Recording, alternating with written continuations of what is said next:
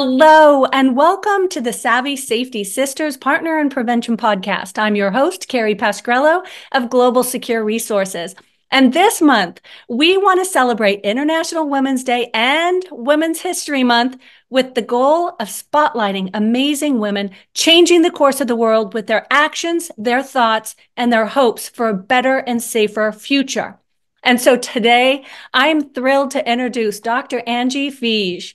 Dr. Fiege is an emergency medicine, critical care, trauma ICU physician, the medical director of NASCAR's American Medical Response Safety Team, and the mother to Rachael, who, after a catastrophic event, lost her life the first week at college. Now, Dr. Fiege started a program called Rachael's First Week, dedicated to protecting the vulnerable lives of teens as they transition to adulthood. Now, she shares heartache with thousands of young people each year with the hopes of changing the fate of just one student. Welcome, Dr. Fiege. We're so honored to have you today. Thank you for having me, and thank you for uh, championing our cause by putting it out there. You got it. Now, today, in celebrating International Women's Day, I want to ask you my first question to you is Who was the most influential woman in your early life that inspired you? I have to say, my mom. She was amazing. I think the thing that she taught me more than anything else was grace. She was the most kind, forgiving, understanding person on the face of the earth. And um, I that really, with her uh, behavior and her way of handling people really instilled a lot of uh, my current thoughts on how I manage life and manage others. So she's an amazing woman.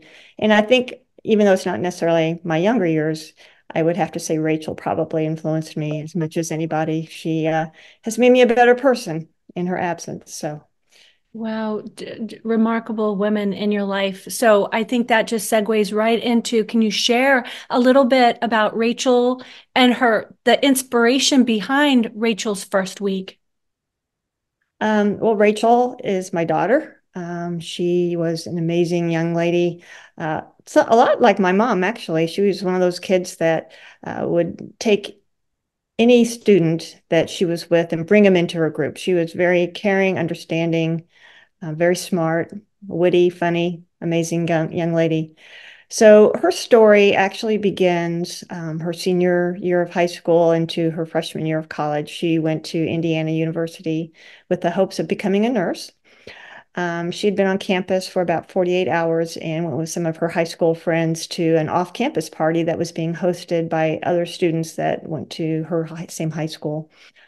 Um, and you know how these old off campus houses are on college campuses. They're often old and rickety. And she was going down a flight of stairs and tripped and fell and, and hit her head. Um, afterwards, she was sort of dazed, and the people at the party had her lay down on a sofa. Um, they went on with their activities, and then later in the night, they went to check on her, and she wouldn't wake up. And then they noticed she was blue. So they called 911 um, by the time the medics got there, she was in cardiac arrest. Uh, she was transported to the local hospital there. They were able to resuscitate her, uh, but ultimately, you know, within half a day, she died from her traumatic brain injury. Um, she did go on to organ donation. Um, so part of her still survives in a young man that we are very close to. Um, but that's sort of Rachael's story. Um, after her fall, and you know there it got a lot of press locally at least because of the tragedy that it was um, we were getting a lot of push my husband and i to prosecute the kids that were at that party for not you know calling 911 or or being more attentive to rachael and i really feel like at the at the bottom of all this was a, a lack of understanding of what had happened the seriousness of her injury um, and I felt that what kids needed was education. They didn't need punishment. You know, it wasn't going to bring Rachael back, but we could save other children's lives, other teens' lives by focusing on Rachael's story and implementing change in how students respond to other students in need. And so that was Rachael's first week was born. Oh, well, it, it's such a remarkable uh, program. You're you're doing so much great work in this world, educating others about these um, these situations that can occur and what to do. And this is why bystander intervention is so important, and, and combined with um, legal you know the laws that allow students to step forward without worrying about being prosecuted. And i think that's such an important thing for students to know. It's better just to call 911 get the serious the help that is needed immediately. And this is what can literally save a life.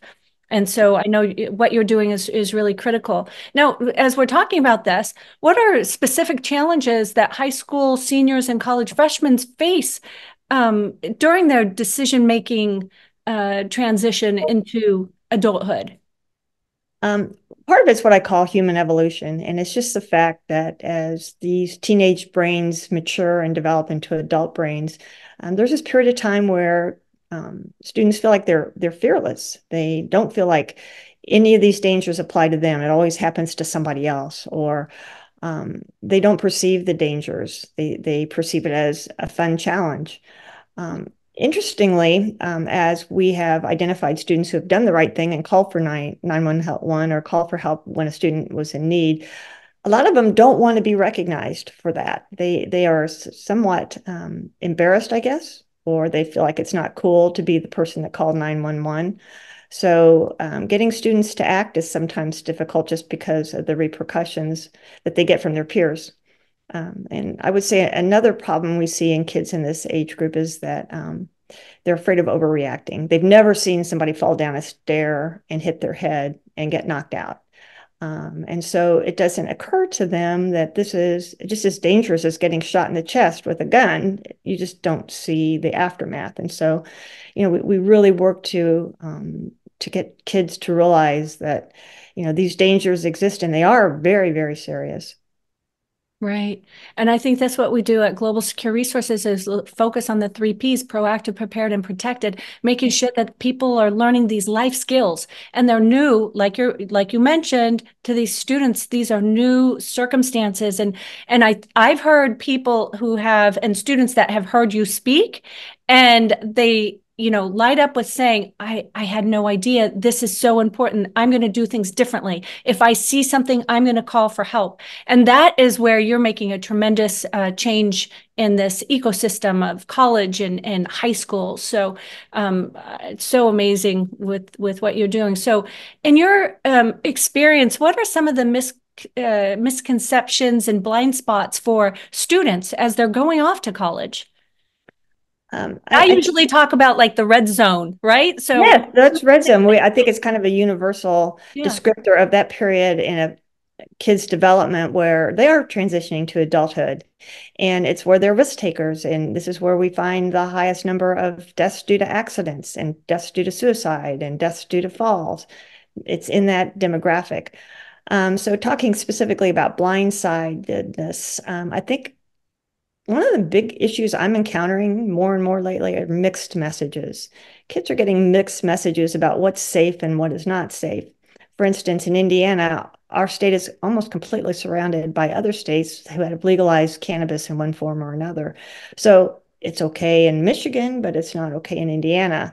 Similarly, they may see their parents drinking in excess and being loud and boisterous, yet we tell them not to drink. We tell teens you know that binge drinking is bad whereas they witness it by people who are their mentors so that's a real blind spot and it's really difficult to turn those conceptions around um, into realizing that these are actually risk-taking behaviors Yes, I, I, agree with you. And right now, we're seeing in the media that um, people are reconsidering that idea of of, of how dangerous cannabis is. And I have recently read some articles about uh, Oregon that they're trying to reverse the laws um, where they have made it uh, you know some of these drug offenses um, with no consequences and and really made these safe areas for consumption and it's not doing the community any good. So i it's a it's a tough place but as long as we're doing this awareness and talking about the hazards and the harms um, I, you know this is how we can get in front of these little blind spots i think. But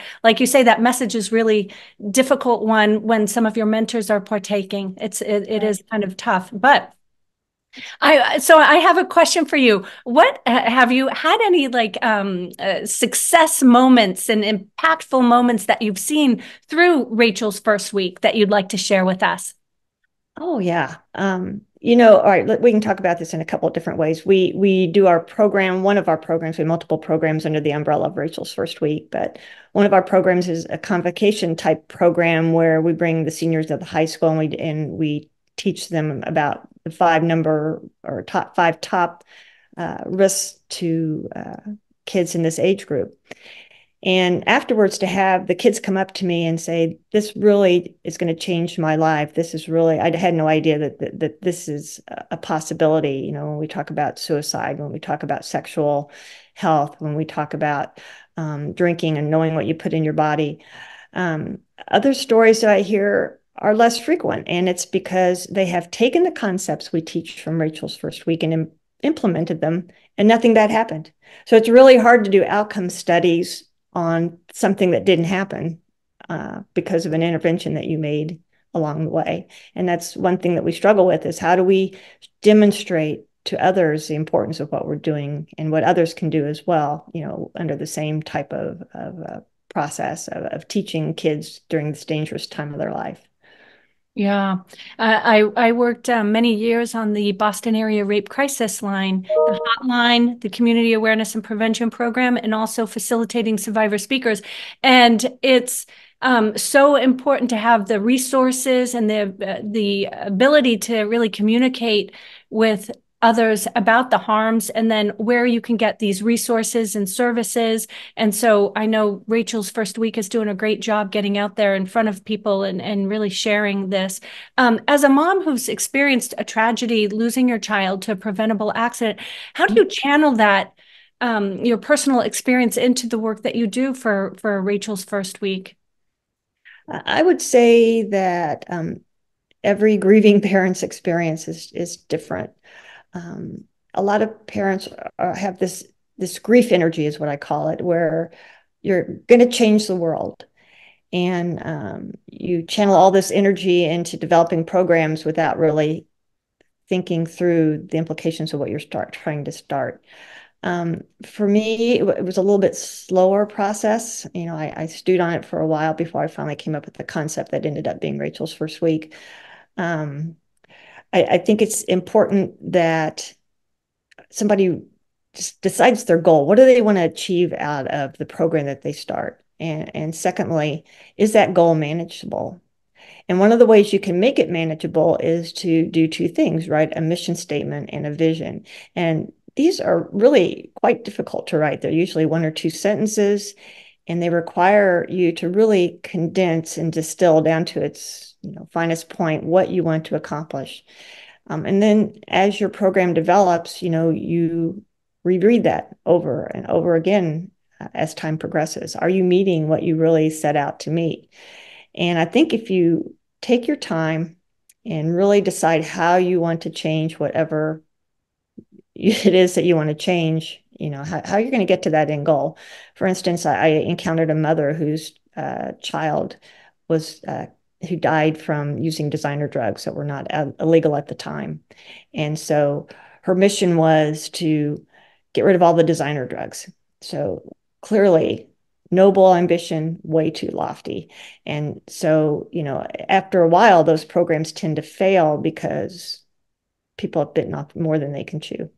Mm-hmm. I think the other thing is just to surround yourself with good people, volunteers, people who share your passion. Right. Yeah.